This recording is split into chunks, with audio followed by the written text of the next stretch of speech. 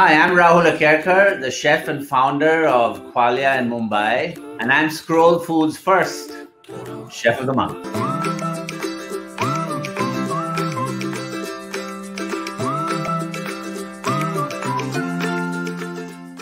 All this month, read my recipes on Scroll Food, watch my videos on Facebook and Instagram, and I'll even share a few kitchen secrets with you. Watch my videos on Facebook and Hello, Instagram, and I'll even share a few This kitchen secrets first with you. Video. We launched Scroll Food over six months ago, and we also launched a new Watch uh, my videos on Facebook and Instagram, and I'll even share a few kitchen secrets. a month ago. And our first chef of the month is Chef Rahul Akerkar of Qualia Restaurant in Watch my videos on Facebook and Instagram, changed and I'll even share a few kitchen secrets. Mumbai and restaurants and the whole industry again and again and again. Um, Watch my videos on Facebook and I want to get Instagram, uh, and I'll even share a few Aman kitchen Khanna, secrets. our food editor. Hi, Aman.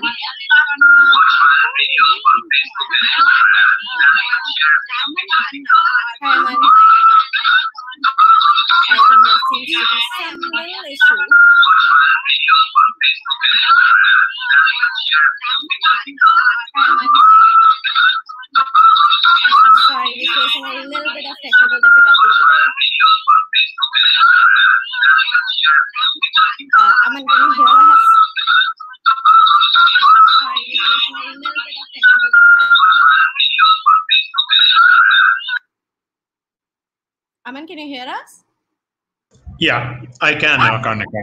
Finally. This is like the worst nightmare come true. Okay, so I was just introducing our, our uh, Scroll Food, and this is Aman Khanna, our editor for Scroll Food, and a lot of other things at Scroll. Uh, so tell us a little bit about Scroll Food and what was the whole idea behind it, and you know what kind of response we have gotten. yeah, thank you so much, Karnika, for inviting me and uh, letting me talk about Scroll Food. We founded Scroll Food in December of last year with the objective of creating an encyclopedia of recipes from India. We wanted to bring under one umbrella cuisines from the north to the south to the east to the west. Of course, there have been attempts to document cuisines before, but those attempts have been fragmented and balkanized. We wanted to give those attempts one home. Our attempt, uh, if I may so say so myself, have met with success. Uh, since the beginning of the section, we have documented several micro cuisines, including the food of Konkan Muslims and uh, Pathare Prabhus. But when the coronavirus pandemic battered the restaurant industry along with the rest of the economy, we knew we had to change our perspective. We knew we had to reach out. So we decided to launch a new initiative called the Chef of the Month. Under this initiative, we anoint a great chef as the curator of the section for a month and let them talk about food, about the restaurant industry, about its need, and of course, their own work. We were fortunate that we got to start the initiative with Chef Rahul Akerkar. Um, Chef Rahul, as everyone knows, is one of the culinary masters of India. He completely changed the way the restaurant industry works with Indigo, and he's continuing to do fabulous work at Qualia, his restaurant in Mumbai. Through all of June, he gave us a peek into his culinary journey and showed us how he creates magic in the kitchen with his non-pareil recipes. Um, so, without further ado, I'll leave the stage and, uh, and I'll let you and Chef Rahul discuss the burning questions of our time. Thanks a lot for joining us, Aman. Okay, so like uh, Aman mentioned, we Chef Rahul Akerkar is our first Scroll Chef of the Month, and we are so excited to have organize this chat with us. So let's bring him on. Hi, Chef.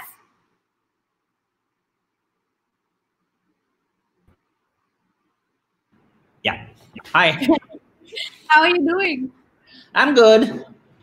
Loving the Hi. time of Corona, right? Ah, how's the lockdown treating you? As it's treating everyone else equally. so Okay. I just, I just, I just want to say thanks, by the way, for having me on this show um, and um, asking me to kick off this initiative of yours, Scroll Food. Um, I think it's great, and I'm real happy to be a part of it. So thank you, Aman, and thank you, Karnika. I've been talking to a bunch of friends. Uh, sadly, I've never been to Qualia. My bad luck. I've been talking to a bunch of friends in Mumbai, and it seems like everyone has a Qualia story. And the one thing they talk about is just like you have to go for the experience. Like you have to go and experience the food, and it's just like the ambience and everything. And it's magical apparently, and I am taking their word. So tell me a little bit about like your journey. What's like your earliest memory of food? My earliest memory of food? Well, um, I remember, you know, in uh, Nasik, uh, my father's parents lived in lived in Nasik, and we used to go there for a month or two every summer. Um, they had a big house and um, uh, two acres, I guess, of, of beautiful garden with full of fruit trees and all sorts of stuff. And my and my aji used to spend her days cooking in the kitchen. She had this beautiful pantry room also, and where she made her own butter and all her own um, like laddus and chuda, chaklis, all these things, um, chutney, murabba, lonsas, everything. And I remember hanging out with her and um, you know watching her cook and she'd make me do stuff with her and I taste stuff. But my first, I think, real experience with cooking was, you know, many years later, like 17 years later or so. Um, in college in the States, I was in small town Pennsylvania in Lancaster, where I went to college. And if I got homesick for Indian food, the only way I could do it was to cook it myself because there was no Indian restaurant there. So I got recipes from her and um, basically subjected all my friends, you know, to being uh, guinea pigs. That's how I kind of learned to cook. Yeah. Oh, that that sounds like really uh, interesting. I mean, most of I feel like uh, a lot of us have learned cooking by watching our moms or our daddies or our nannies cook. Yep. And in my case, it was mostly my dad who cooked. So yeah, most of that. So I mean, you came back to India in the '90s to start a restaurant. So what was the restaurant industry like back then, and how much has it changed? And you know, just like tell us a little bit about like what it was like. I'm sure there must have been a lot of bumps on uh, on throughout the way. So in eight, I came back end of '89 in November of '89, and really the the restaurant scene here wasn't very evolved. You had a couple of um, in in I guess in the Chinese space there was China Garden in Bombay, and in the Indian food space there was um, um, Khyber. Um, no, yeah, Khyber um, uh, in uh, Kala and um, um, there was nothing in the Western food space at all. Um, what existed was in five star hotels. In fact, most of the restaurants that existed of a particular grade anyway were pretty much in five star hotels. I mean, there were plenty of eateries outside, but you know they were kind of run mom and pop style. You know, where the where like the owner sat at the uh, gala and counted cash. And, you know, it's. Uh, um, um, you know, and the cooks were sort of thrust in this inhumane working condition in the back, these sweatshops producing food. Um, of course, the five star hotels and all were different. But um, yeah, so so that was that was kind of the scene that uh, that existed then, and you know because everything was in the five star hotels, I guess after a while they just got complacent and they were, you know, it was completely out of touch with what was happening in the rest of the world. Mm-hmm. So, what what has your experience been like with Indigo and you know starting your own thing and like especially in a city like Bombay? Like, what has your experience been? Well, it was you know at the time it was um, it was tough. I mean, I didn't come. Firstly, I don't come from a business family background. Uh, both my parents were employees, if you will. Uh, my dad was, you know, he he uh, was a public relations consultant, and um, at one point was the executive director of the World Trade Center in Bombay, and he also taught. My mom worked; she manages she managed the law offices of two American immigration lawyers in Bombay. So I don't come from that kind of background. So to me, setting up a business, um, setting up a, restaurant was a, a really steep uh, learning curve.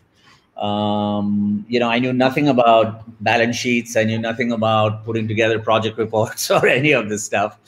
And um, you know, when I went to, I first started with Under the Over before Indigo, and then we then we moved to Bangalore for a while. But even for like Under the Over, um, just to just to get a loan from the bank and try and understand how to do all this, it, it like took a lot of effort. At the time, I think F&B was not a really organized sector, and certainly not even in terms of uh, banking, you know, and in terms of getting financial, um, uh, getting institutional finance.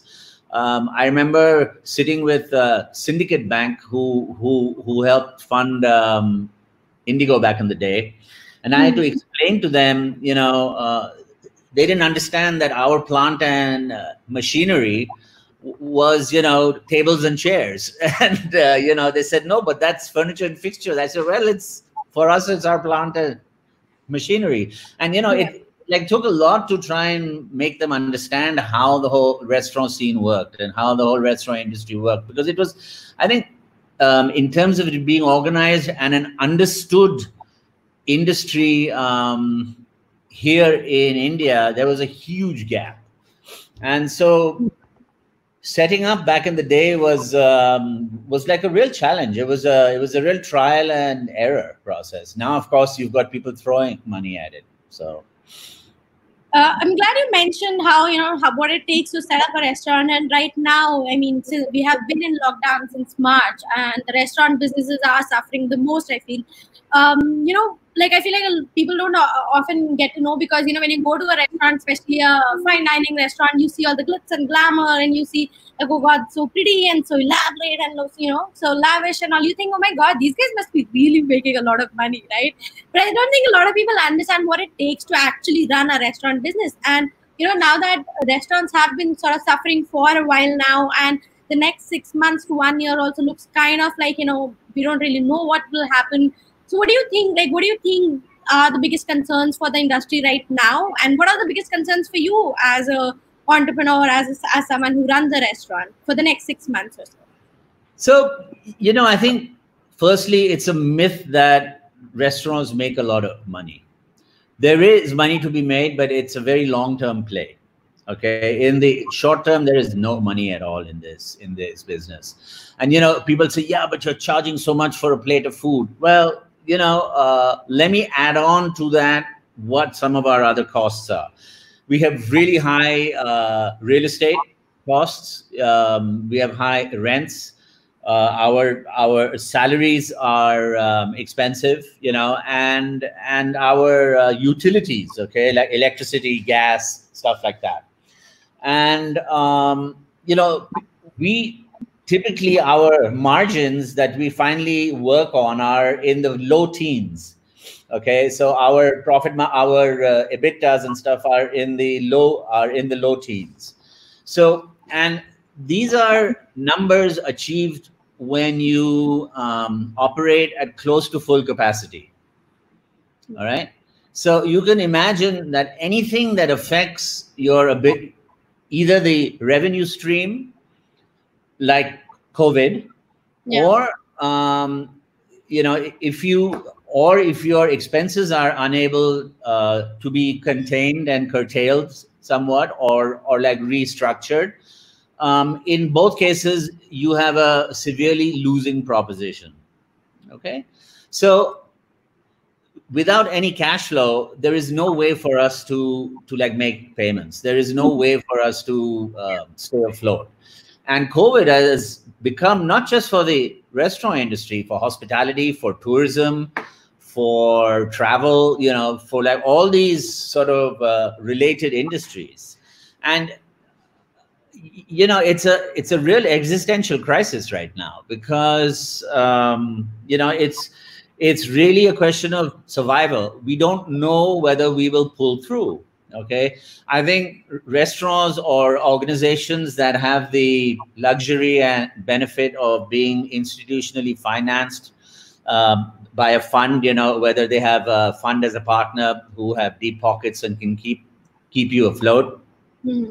or if uh, restaurants that have been in operations for many years and have some reserves to dip back into these i think are the only ones that are going to be able to survive um, anybody else who's working hand to mouth, and most of us are, um, are probably going to fold because, you know, I understand and landlords um, need to make money from rent too. They've purchased places.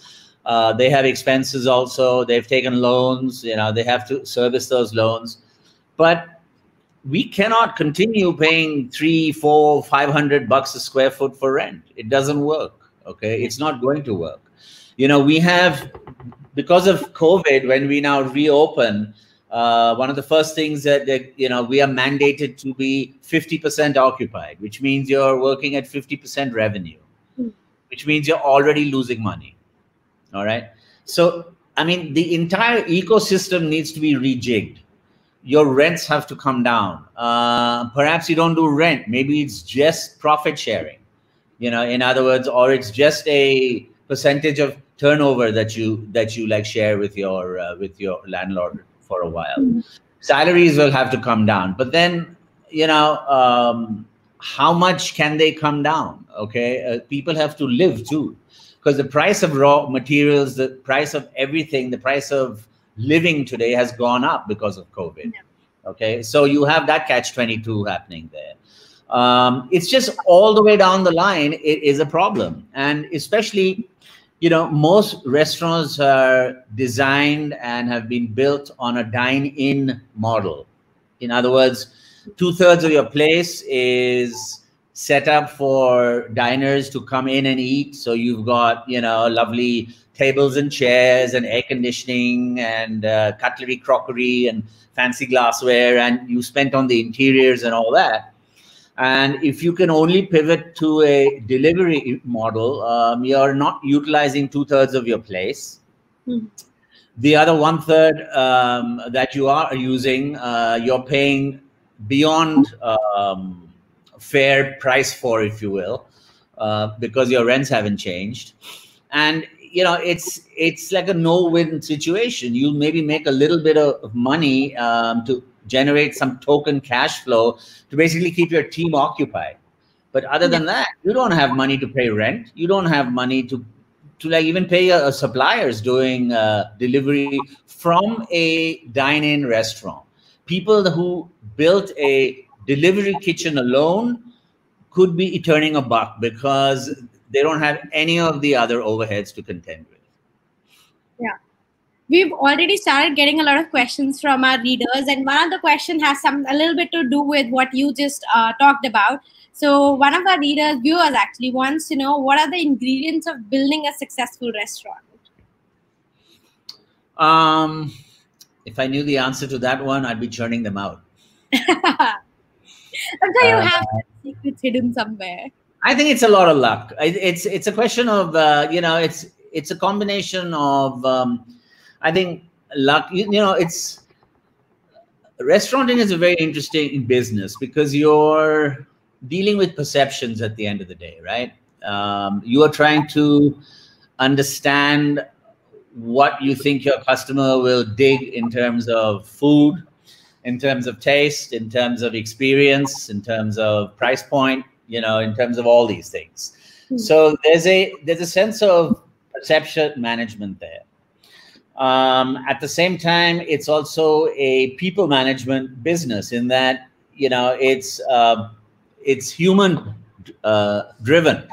So you have your staff. You have to have a happy team. If you don't have a happy team, you're not making happy food, and you're not um, you know creating a happy ex experience there. You know, if you have one of your cooks who's come after having a fight at home, uh, he you know he brings all that bad energy into his food, and and it shows. You know, um, as I say, you're only as good as your last meal, right? You know, you can have regular customers that come and uh, dine with you over years.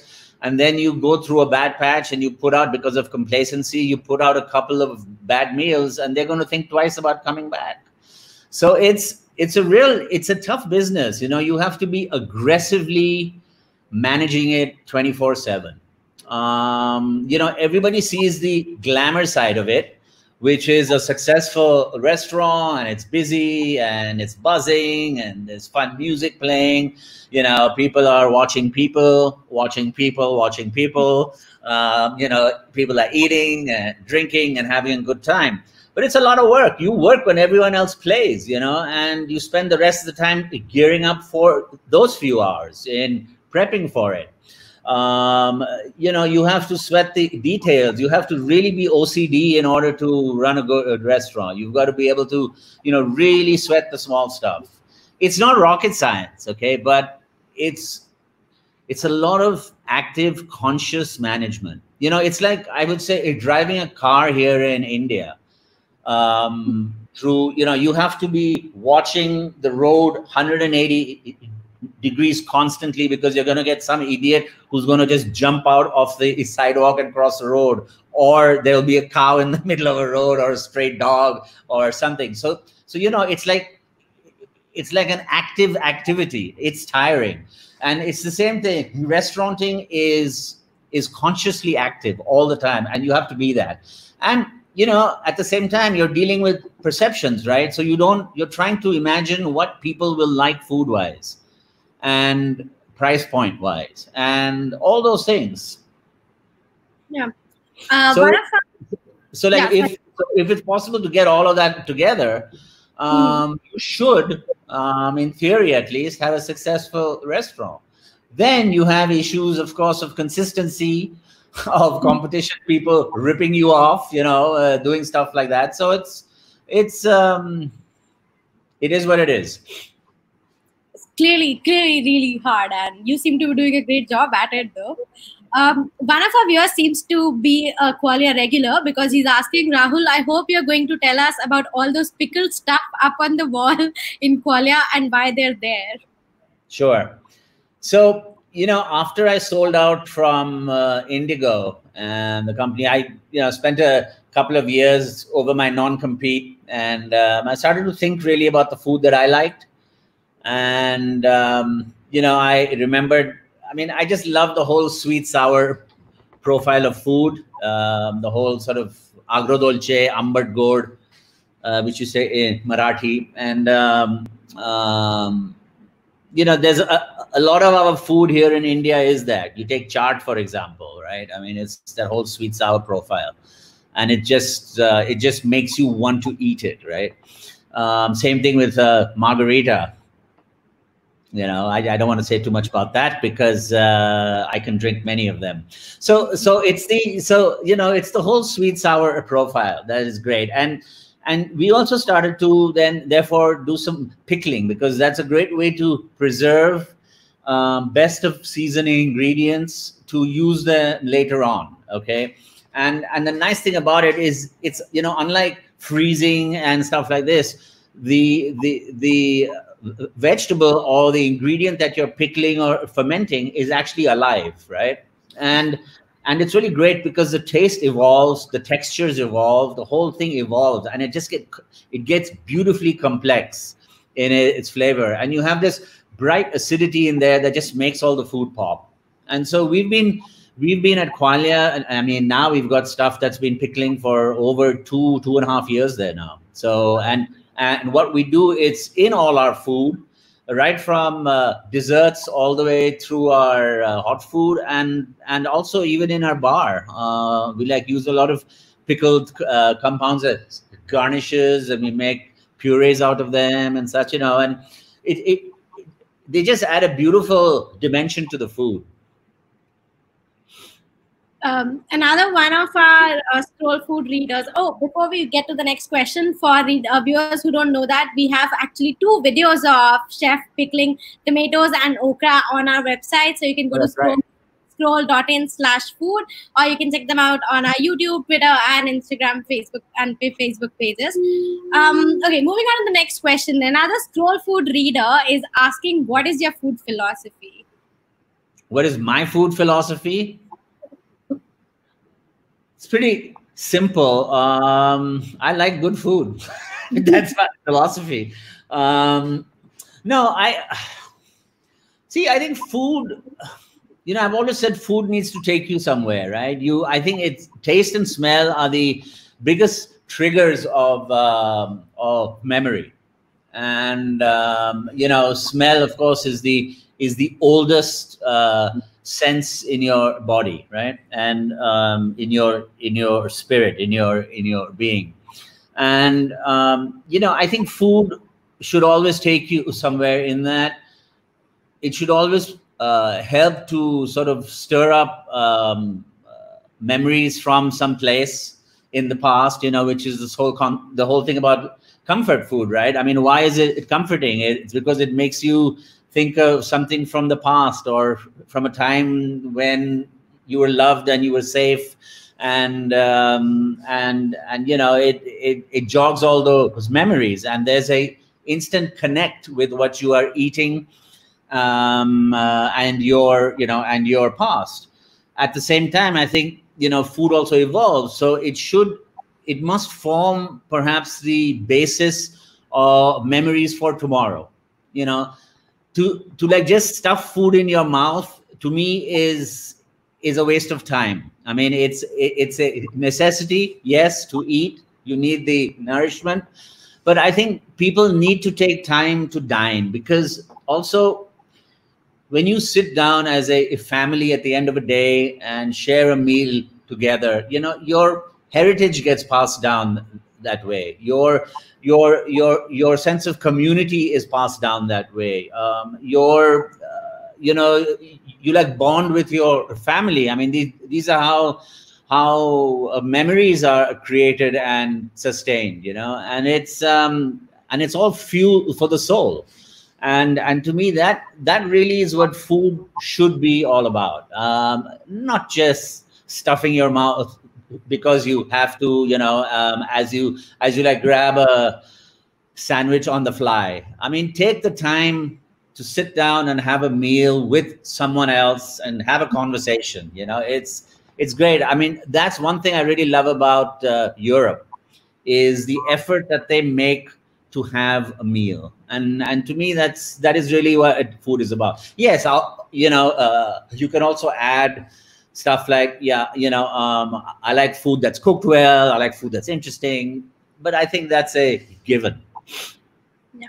So what's comfort food for you as in what do you eat like you know middle of the night? And i'm sure like on days when you are at the restaurant middle of the night means nothing. So 4 a.m in that sense for you. So what is it that you go for? What is it that you cook for yourself? Cornflakes. Yeah.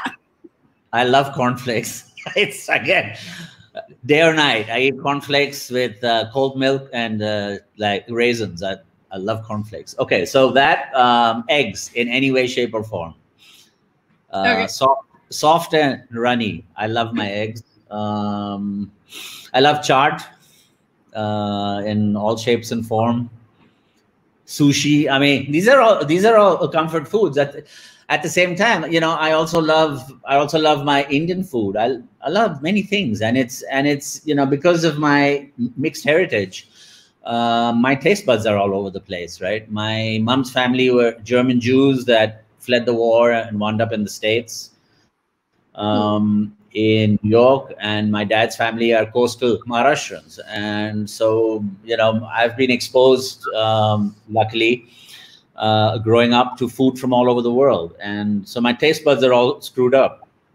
Uh, you know, I sort of uh, jack of all trades, master of none kind of thing. So, so my um, so my personal uh, sort of food that I love or preferences are it's really mood based. I mean, there are times I want uh, varan bhat, you know, which is just uh, overcooked overcooked dal and rice, like mm-hmm. a khichdi. Um, there are times I want that. There are times I want to eat uh, sea urchin. You know, so um, it's it's like all over the place. So that's how it is. Uh, like, do you think that the Indian food, that Indian food has found its the place you know it deserves on the global you know culinary map? As in, we don't see too many Indian restaurants or like uh, you know even restaurants that are sort of experimenting with regional or micro Indian cuisines because they they have a lot to offer. Yeah. So I think I think Indian food is really coming to its own right now, and it's it's just started this process over the last couple of years. But and I think it's fabulous because we have such an amazingly rich and diverse culinary heritage in this country. And, um, you know, you've got like 60 ways to cook potatoes, you know? so it's, uh, it's, it's just amazing. North, South, East, West, our food is just so different. Uh, we come from so many different, um, uh, we come from so many different uh, culinary traditions historically. Um, the cuisine is evolved, it's rich, it's diverse. It does, you know, there's a misconception in the West about it being chili, spicy all the time. It's not. You know, um, there are many Indian cuisines that hardly use chili. You know, mm. so um, you have all the different flavor profiles. You've got everything happening here, and I love the fact that um, you know young chefs today are finally turning inwards if you want to call it that, and playing and evolving our local culinary traditions and and and uh, cuisines. And it's happening all over the world. You know, in in London, you've got restaurants playing around with you know with uh, very specialized Indian cuisine. Same thing in New York. Same thing, I guess, in most major cap you know big cities of the world. And I think one of the other things that's changed internationally also is that there's no need for cooks uh, and chefs and restaurants to dumb down the food anymore. Okay, you know there used to be this tendency, oh, you know, Indian food you need to cook it for the Western palate. Bullshit. You don't need to do that. Um, so so so you know, it's people are are staying true to uh, true to flavor and you know true to uh, tradition and serving um, uh, uh correct you know if you want to call it that Indian food and um, you know, and the fact that we have so much to offer, it's I think we've just touched the tip of the iceberg. Because you know, you can take regional cuisines from this country and take them into the West, and nobody knows about them. You know, so it's wide open right now. I think this is the time. It's sad that COVID had to happen now because it's going to slow down the process, but um, but it will happen. It'll be. It is one of the major cuisines of the world, you know, um, as a collective. We just got another question from a viewer, which I feel fits perfectly here. So they want to know which are your favorite restaurants in Mumbai and which dishes at these restaurants you love the most. I like Qualia for obvious reasons. and yeah, I love, all, I love all the food there. um, I like different restaurants for different things. Okay. I um, you know, I I eat a lot at uh, Thaker at Bhojanalay. I take chef friends there from all over the world for a nice Gujarati thali. I can't. I can. I I hate that restaurant. I love that restaurant. I love it because of the food it serves and everything else. I hate it because I always overeat there. It's terrible.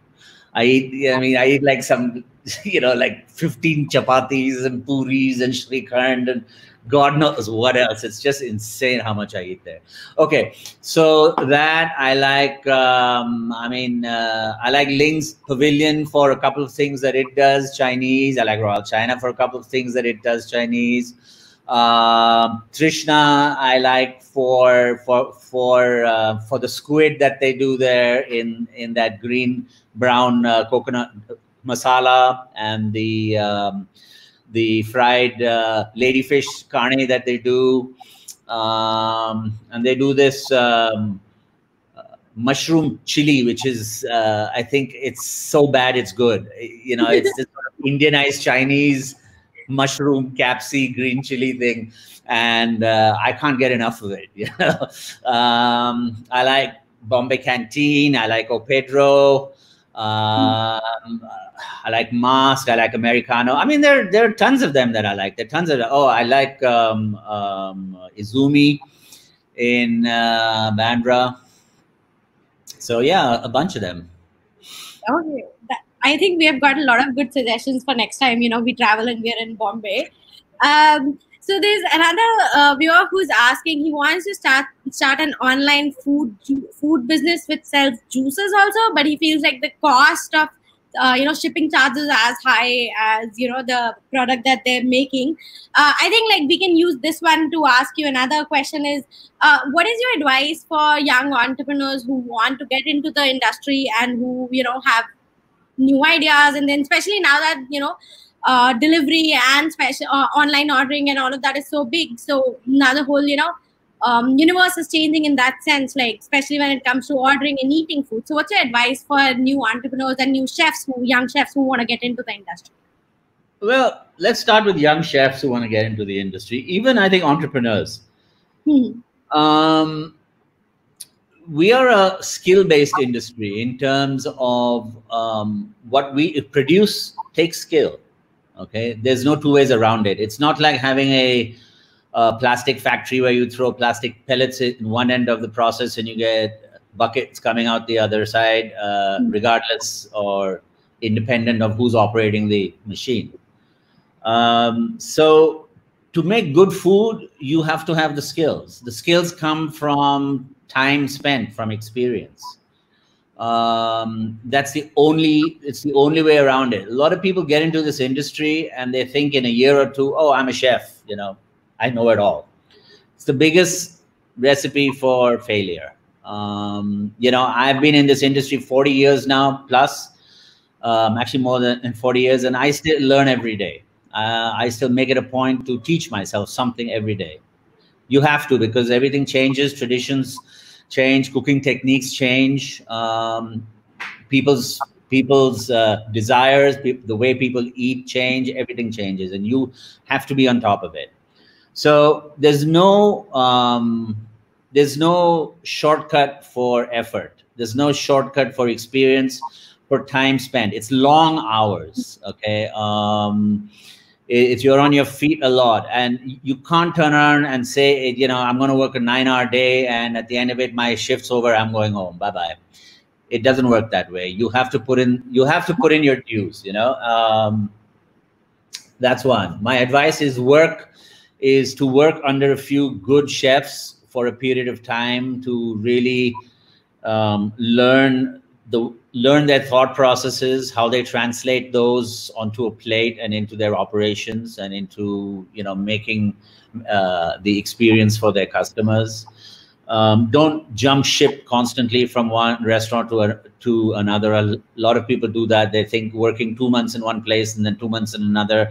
I'm getting all this experience on my resume but you're actually getting nothing because it takes you a minimum of that time to settle down in a place and then to really evolve working in that place with the team there takes takes another five six months. So you know i wouldn't jump ship very very quickly um, it's a lot of attention to detail okay so um, you know you have to sweat the small stuff constantly the your ability to self uh, motivate is needs to be very high because you know i tell you the toughest part for me is hauling my ass out of bed every day. You know, it's uh, get out of bed, be inspired, go to work, create something cool, you know, have fun.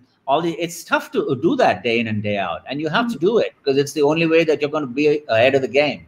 It's the only way that you're going to get joy out of your work. And if you're happy at work, then you're then you're making good food and you're doing good things. You know, so so you know those are the kind of advice those are the kind of things that I would give. I would tell people. Patience is uh, is like a big thing. You know, um, uh, nurture the people around you. Also, you know, don't don't sort of work with this whole thing about oh it's secret it's my secret recipe or something like that. Share share as much as you can. You know you need to teach people uh, restauranting and you know any part of this business is a business of collaboration.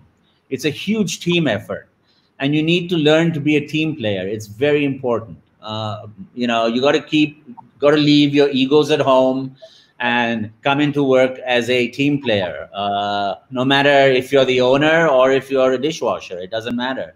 You have to be a team player, or you're not going to be able to make that food, and you're not going to be able to serve your customers. So, you know, these are all things. Of course, of course, I'm also going to tell you the obvious things like if you're an entrepreneur, make sure you're structured properly, you have enough funds in the bank, da da da, you know, all of that. But that's the business side of it.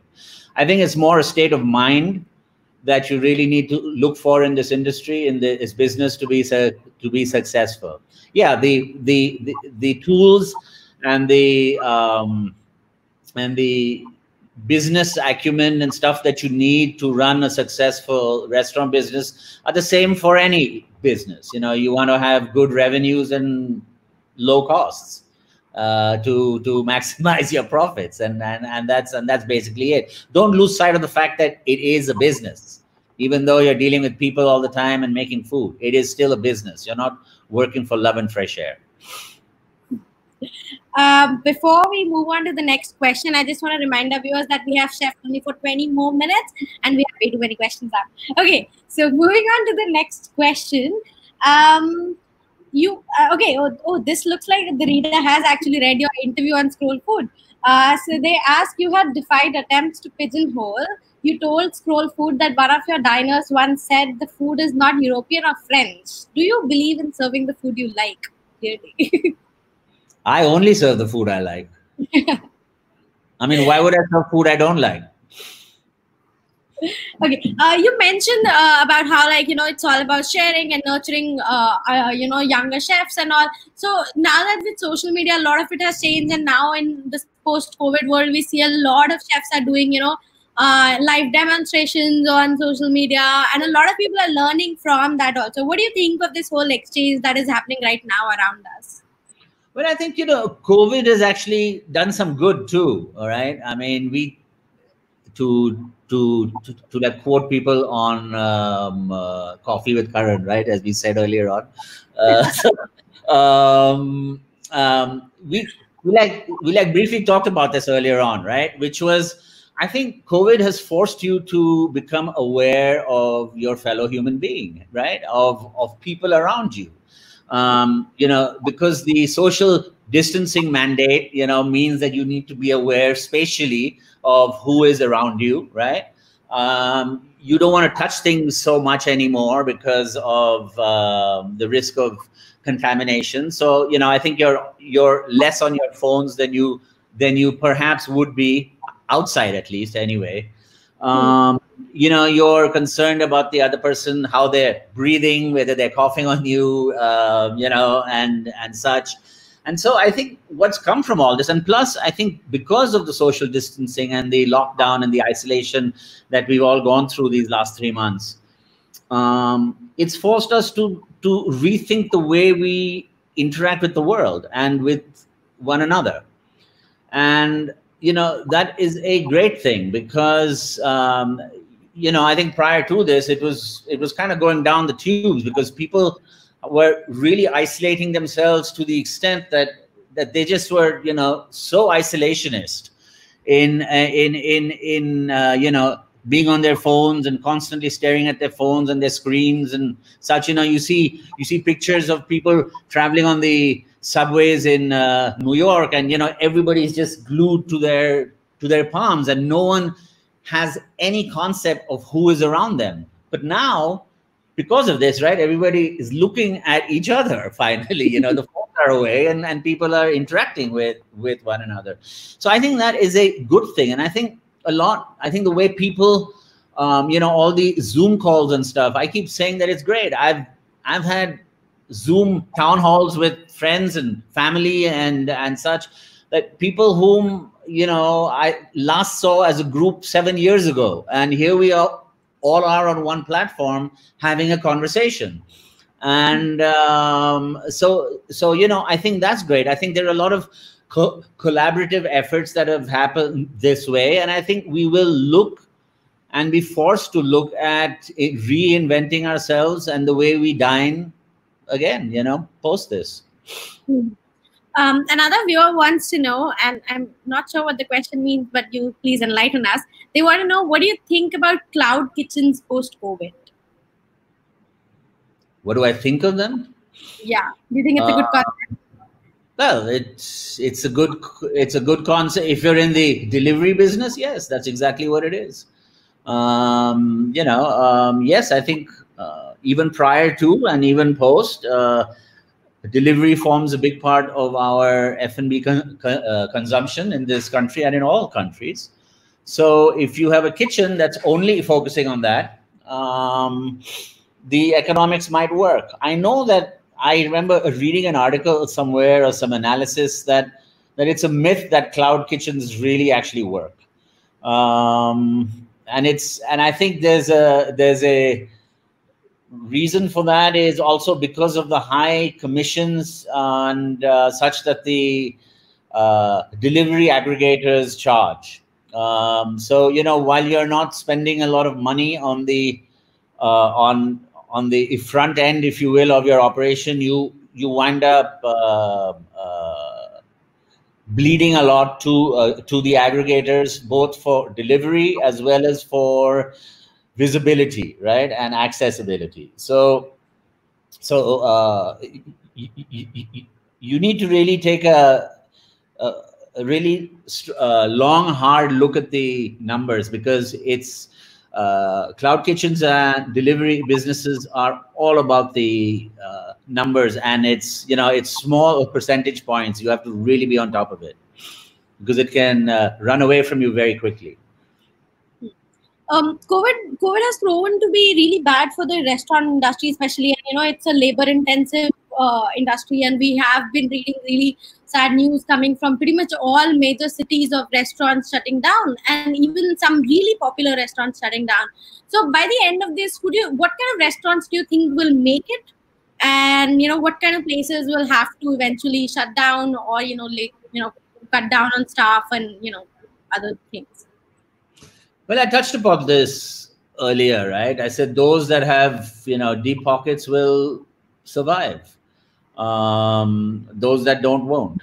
Um, you know, those that are able to rework rents with their landlords. It's it's all part of that entire rejigging of the whole ecosystem that has to happen. If you're able to do that, you stand a chance of surviving. If you're not, I don't think you will. Um, also, I think, you know, put it this way people are going to be somewhat fearful of going out. So they're going to make sure that when they go out, they go out to a place that's really worth it for them. In other words, they are convinced of the health and sanitation and safety aspect of the place they're going to. They are convinced that they're going to get an exceptional meal, that there's no risk involved of getting a sh- shitty meal when they when they go out to a place. In other words, if you're going to put yourself at risk, you want to be able to get your maximum ROI on that risk, right? So, so I think restaurants that are really conscious and sweating all the small details um, and producing good food and well priced and and and are the ones that are going to survive. The rest won't. Um, before I go to the next question um, related to this, uh, I think one of uh, your customers is sort of complaining, saying, "Why aren't the pickles on the menu?" I think you should start selling the on, pick vegetables on my on my uh, takeaway menu. Yeah, I don't know. We uh, we we actually that's not true. The there are pickles on the on the menu um, but um, if you if you want some, just call in and we'll send some to you. I have no problem with that.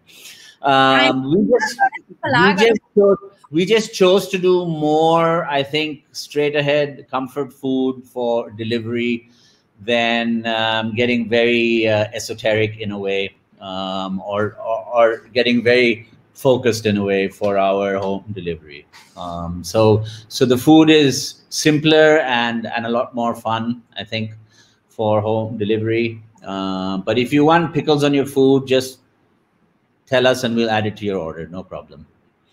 Awesome. Um, what do you? Uh, so there has been a. I'm sure you must have read about the uh, economic bailout package that the government announced a few weeks ago. There's there isn't anything in there for the restaurant industry or the F&B industry or, or on the whole. Uh, what do you think? Uh, what kind of support that the government can provide to the industry in this moment? Well, let's put it this way: they need to provide something. They haven't provided anything. Um, you know, we're an industry where whether directly or indirectly, um, we employ tens of millions of people. And um, uh, we've got no support from the government. We also, you know, provide a huge quantum of money to the exchequer by way of taxes and and uh, everything else, and we and we've gotten no help. Um, yeah, there, you know, there's some the small thing where they say as an uh, MSME business, you can you know you can avail of a loan and stuff, but but that's just pittance. Okay, it's not going to help. In England, for example, the government um, paid for 85% of uh, restaurant hospitality employee salaries. Um, so you were so even during lockdown, um, you could continue paying your people because the money came from the government, not from your pocket as a as an employer without any cash flow. And so businesses are able to survive. Okay. Um, on the one hand, here the government says you cannot lay off people, you cannot fire people, but then don't give you, uh, then don't provide an op- an option or an uh, or an understanding of where you're supposed to get those funds from to pay them when you're in lockdown. Okay so there are numerous things like this and it's been it's been pretty tragic i have to say you know that that that the kind of support that we have gotten is really non-existent. The it's it's all token support. I mean even take for example the excise. Um, they uh, the the excise license here in Maharashtra. They've like raised the fees 15% from last year. Okay. Now, you know, okay, so they allowed you to pay it over four months, um, starting in June rather than March. Um, but the point is, you know, we're not earning. How are we supposed to pay these? Okay. Um, we have some, we have utility companies, for example, which are state run, some of them um, and even the private ones who who who haven't given us any any support. You know, it's like I don't care, pay pay pay your bill, or we're going to cut off the power. Um, so so you know we're all bleeding, and and it's you know we we need help from the government. There there have to be uh, tax breaks. There you know there there has to be financial aid made available. Um, there you know there like has to be uh, easing of uh, various restrictions. Uh, you should be allowed to set up let's say tables outside on the sidewalk so that you can get more people socially distanced like they're doing overseas. Um, there's a lot of stuff that they could be doing you know which they're not. And it's very frustrating you are uh, a part of the NRAI, that is the National Restaurant Association of India. Uh, their task force, uh, their COVID task force. What is the uh, association doing for the industry, and how are you guys liaising, uh, liaising with the government? So, so the NRAI makes a lot of representation to the to the various uh, ministries and to various government bodies and to various people therein. Um, and, and we basically lay out um, uh, sort of a what it is scenario for them and we and we ask for uh, you know and we ask for certain accommodations like for example we are you know currently uh, with the with like the excise department here in maharashtra we've we've asked them to actually waive off the first quarter of this year's fees because we haven't been able to use the license for the first quarter. So you know things like this. There's all this representation being being made from a tax point of view, from um, uh, from all the things that I talked about earlier. Um, um, the, the, you know we can't uh, dictate policy, but but like we can but we can certainly help. Uh, help government and and help our members in in um, approaching all these issues and giving them ammunition to at least tackle them. You know, we also have uh, talks going on with uh, with like landlord bodies, with uh, with mall owner bodies, and and such about about rents and things like that. Uh, so we have time for one last question, and I'd like to end it on slightly happier or nicer note.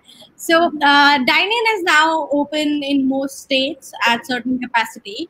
Uh, so what is your advice for the uh, you know customer who wants to come in but is a little scared? So what would you tell them? Just go out and eat.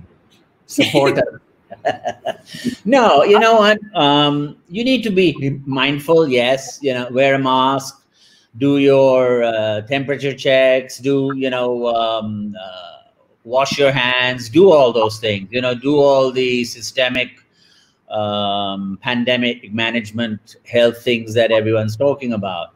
Um, be mindful that the restaurants you're going to are hopefully making an effort to take care of all these things and to do things correctly. Um, it's new to everyone. You know, mistakes will happen. So don't be too hard on people right now. It's after three months, firstly, of no business. We're now reopening. Uh, three and a half months. We're now reopening, and we're reopening with some very stringent um, uh, conditions and rules and safety regulations and everyone's bound to make some mistakes so so cut us a little slack if you see stuff happening bring it to the attention naturally of uh, of uh, of the management saying that you could do things a little differently. I'm sure everyone's keeping an open ear and will be willing to help out however they can. Everyone's desperate for your business.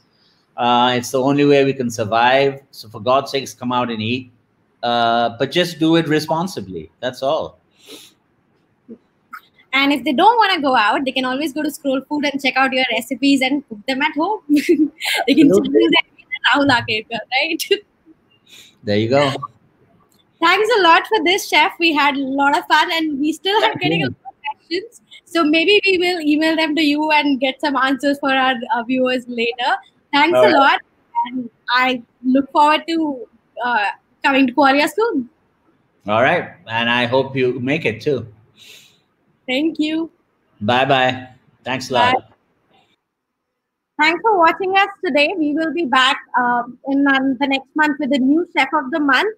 So stay tuned and go to scroll.in slash food to check out exclusive recipes by Rahul Akerkar and keep cooking and stay safe.